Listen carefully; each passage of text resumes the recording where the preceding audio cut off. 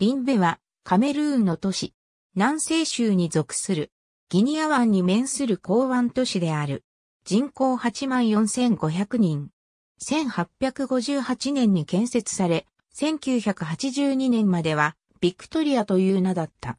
リンベはイギリスの宣教師により1858年に建設された。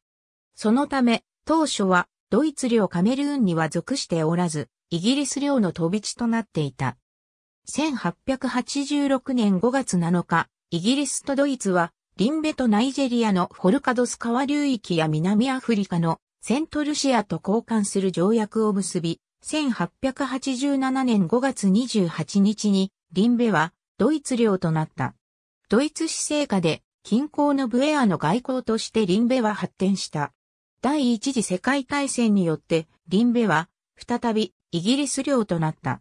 リンベの属する南西州の公用語は英語であるが、フランス語圏の大都市ドゥアラの影響下にあるため、フランス語も通じる。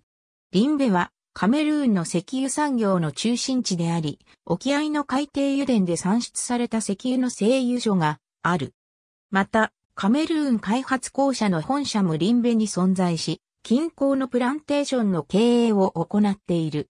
リンベは、ドゥアラ、クリビ、ガルアと並ぶカメルーン4大港の一つである。ありがとうございます。